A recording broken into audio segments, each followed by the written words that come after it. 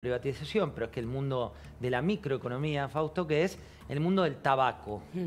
¿Qué anda pasando con el mundo del tabaco y por qué hay tanta eh, preocupación de algunos jugadores? Muy atado a la ley bases, José, porque quedó afuera de esta segunda versión un importante capítulo de reforma sobre el sector tabacalero.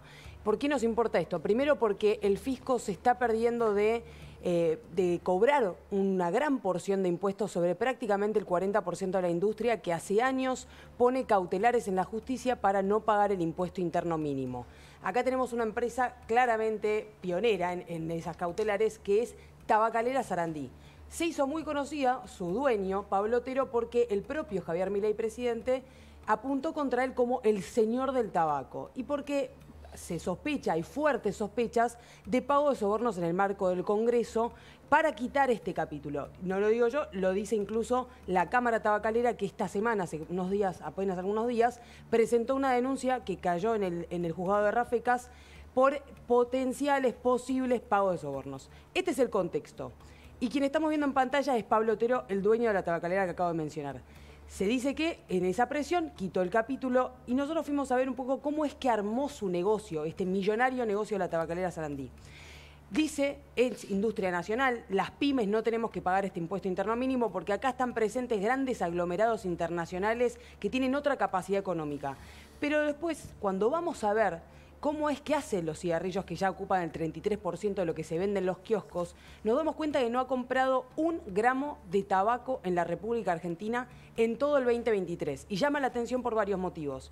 Primero, porque el año pasado, como saben, estaban cerradas prácticamente las importaciones, era muy difícil conseguir las autorizaciones, mucho menos los giros al exterior con dólar oficial, incluso para medicamentos, José. Uh -huh. en, en cambio, el tabaco, cosa que algunos considerarán no es un elemento esencial y más cuando el 80% del tabaco en la Argentina se exporta, o sea, había de sobra en la Argentina para comprar, no tendría mucho sentido que haya podido acceder a todas esas ciras. Ni un gramo de tabaco argentino, 100% de tabaco, prácticamente casi todo brasilero, pero acá hay un detalle muy interesante y tenemos una placa para acompañar para mostrar de dónde importó Pablo Otero con Tabacalera Sarandí. ¿De dónde viene?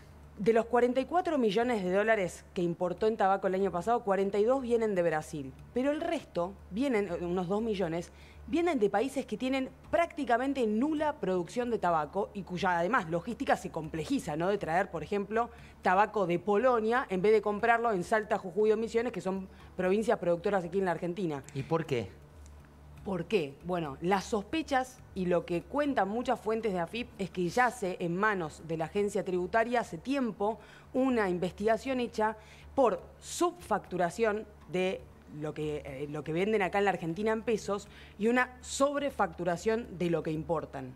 Bueno, era un poco lo que se sospechaba cuando tenés tanta regulación, Fausto, cuando hay tanto para importar, exportar, cuando hay tanto departamento, tanto sello, ahí sí entra la macro que se mezcla un poco con la micro. No me refiero concretamente a este caso puntual, sino a la lógica de la economía. No, bueno, ob obviamente cuando vos empezás a tener controles de este tipo, eh, donde, donde, para importar, comerciar o producir algo, vender algo, tenés que tener la firma de un burócrata y ahí tenés margen para un montón de este tipo de cosas raras. ¿no? Pasó muchas veces, Pasó ¿no? muchas Muchas, veces. veces. ¿También? Primero me sorprende el poder de lobby que, que tiene esta tabacalera, porque estaba dentro de la ley base es el- la eliminación de los impuestos internos al tabaco, o sea que el sí. poder de lobby tiene que ser muy fuerte para que logre sacar la ley.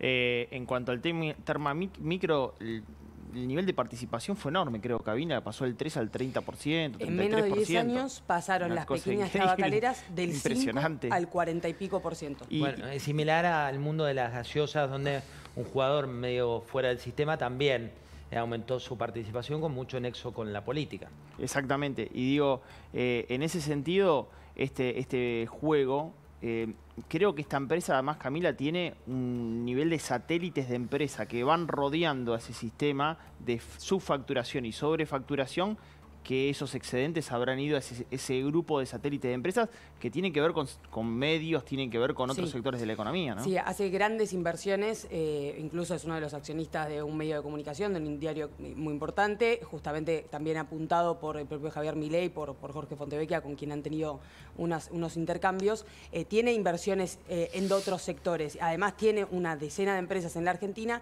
y una veintena de empresas que ya vamos a ver en el mundo. Una de las más importantes justamente en Brasil, de donde importa el tabaco. Una comercializadora de tabaco en Brasil que con quien tiene también grandes inversiones con un socio, ya lo vamos a, ver en detalle, y acá en la Argentina, la tabacalera, que además vende los cigarrillos más baratos del mercado. Es decir, en general son considerados los cigarrillos más económicos, de menos calidad, pero nadie se da cuenta plata... está lleno de tabaco importado, que no necesariamente es de mejor calidad, pero llama la atención el costo que han pagado, porque compraron el kilo de tabaco en el exterior a unos 5,5 dólares el kilo, cuando en la Argentina se compra a entre 2 y 4 dólares el, eh, kilo de tabaco. A ver, veámoslo. Ahí tenés una, una placa que grafica, por un lado, ¿esto qué es? ¿De dónde? ¿De dónde ha importado? Todo el 2023. Una cosa, no, no hay distinción entre meses. Ha importado desde enero hasta diciembre prácticamente. O sea, cuando se fueron, eh, además, restringiendo aún más la, la CIRA, que fue más o menos a mediados de año, seguían importando. De Brasil unos 42 millones de dólares en importaciones, en Uruguay unos 1.166.000. Eh, tenemos incluso para ver, esto es, un detalle de probatorio en realidad, pero una, un estudio de la, de la, Organización Panamericana de Salud que dice que la, superficie plantada en Uruguay con tabaco es el 0,04%. Es muy pequeño el negocio de tabaco en, en, Uruguay.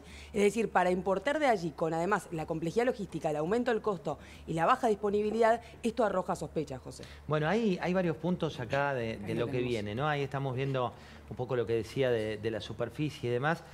Martín, ¿se viene una guerra de lobbies? Digo, porque tenés al gobierno muy protagónico diciendo voy a destruir tal y cual, pero hay que seguir la trazabilidad también, ¿no? ¿Dónde termina? Ah, el gobierno no ha hablado de este tema y no ha explicado por qué lo sacó de la ley, ¿no? Más allá de que las sospechas que se han vertido tienen que ver con diputados del PRO, diputados del kirchnerismo, pero quien retira el, proyecto, digamos, el, capítulo del proyecto es el gobierno.